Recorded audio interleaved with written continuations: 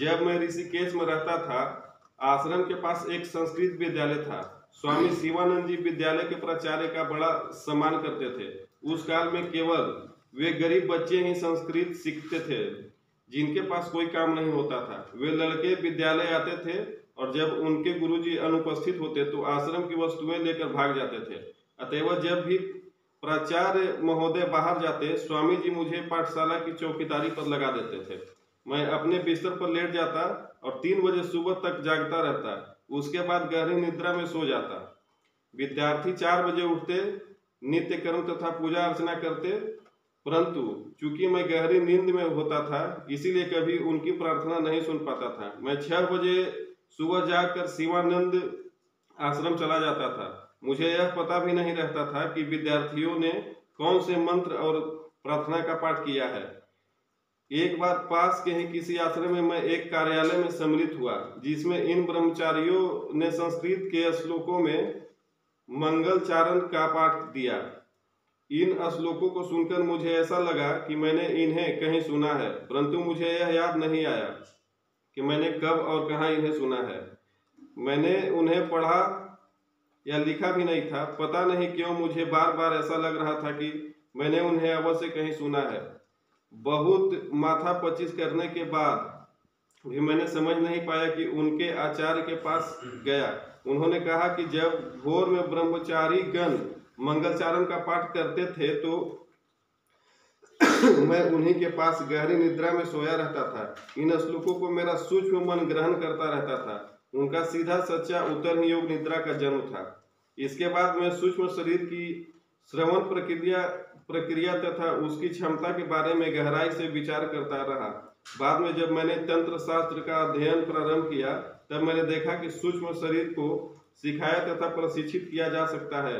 मुझे विश्वास हो गया कि जिस तरह जागृत व्यक्ति को सिखाया, पढ़ाया जा सकता है, उसी तरह सूक्ष्म शरीर को भी निद्रा अवस्था में सिखाया जा सकता है।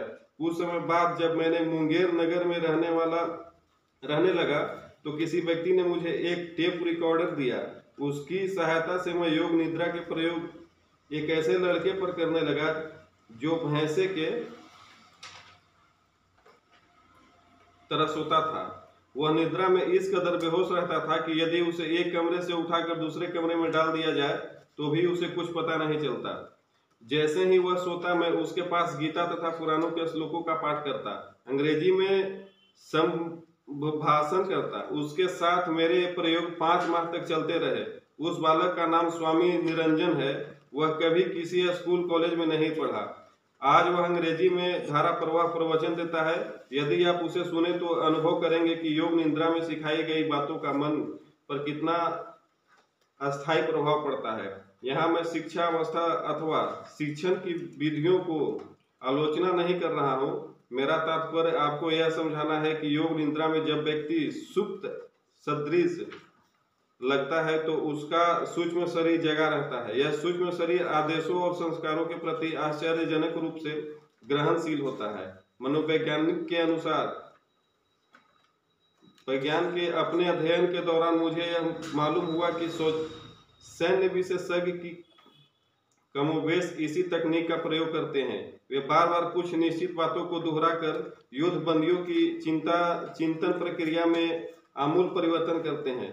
कुछ ऐसी ही बात संवाद में भी देखने को मिले, जिसमें बार बार यह दोहराते हैं कि कवे सफ़ेद होते हैं अथवा गधों के सिंह होते हैं। जागृत अवस्था में कोई भी इन बातों को स्वीकार नहीं कर सकता, परंतु यदि सूक्ष्म शरीर के समक्ष इन बातों को बार बार कहे तो कोई भी मीन मेक निकालने, निकाले बिना, वह इन्हें स्वीकार कर लेगा। बाद में पुनः यदि आप इन्हें बोलेंगे तो जागृत अवस्था में भी वह इस पर कोई आपत्ति नहीं करेगा। संसार में मस्तिष्क की धुलाई की जितनी भी तकनीक है, वे सब योग निद्रा के सिद्धांतों पर आधारित है। जब मैंने योग निद्रा के सिद्धांत को व्यवहार में उतारा तो मैं इसी निष्कर्ष पर पहुँचा कि योग निद्रा के प्रयोगों से असंख्य पीड़ित जनों का बड़ा उद्धार हो सकता है। कल्पना कीजिए, एक बच्चा रोज रात्रि में बिस्तर पर पेशाब कर देता है। रात्रि में उसके सोने के दो तीन मिनट के भीतर ही उसे उठाकर बिठा दिया जाए और जगा कर कहिए, सुनो, रात्रि में जब भी तुम्हें पेशाब लगे, बाथरूम में जाकर करना। कुछ ही दिनों में आपको यह देखकर आश्चर्य होगा कि बच्चे में बड़ा परिवर्तन आ गया है तथा आपकी समस्या हल हो गई है।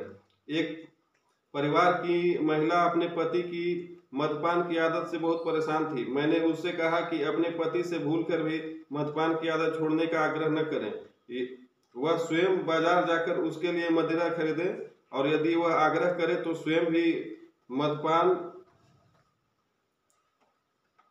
मदपान के उसका साथ दे। मेरी बात सुनकर वह भौचकी रह गई। उसे डर लगा कि कहीं मैं उसे पतन के गर्त में तो नहीं ढकेल रहा हूँ।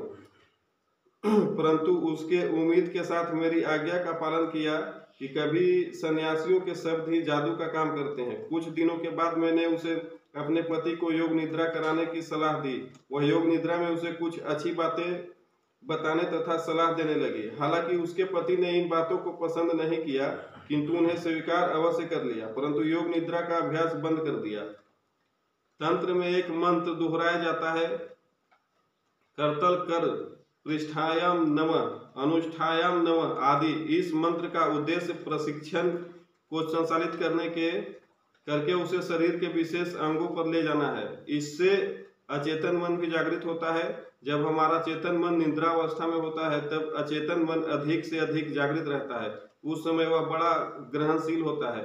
यदि आप कोई संकल्प ले तो वह अवश्य पूरा होता है। यदि अभ्यास बड़ा महान है और दृढ़ गुण है, अतएव भूल कर भी इसका दुरुपयोग नहीं करना चाहिए।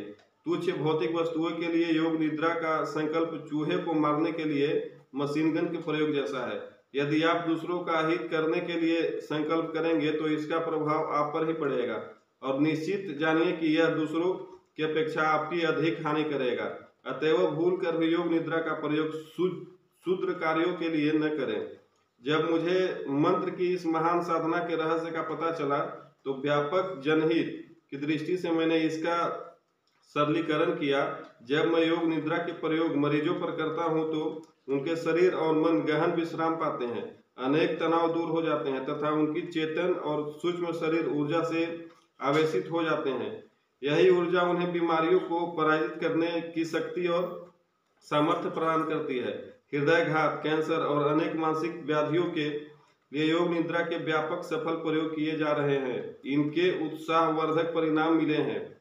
मैंने योग निद्रा के अभ्यास को इतना सुगम बना दिया है कि भविष्य में कोई भी व्यक्ति इसके द्वारा अपने शरीर, मानसिक शरीर, भावनात्मक, सामाजिक और पारिवारिक तनावों से निश्चित ही छुटकारा पा सकता है।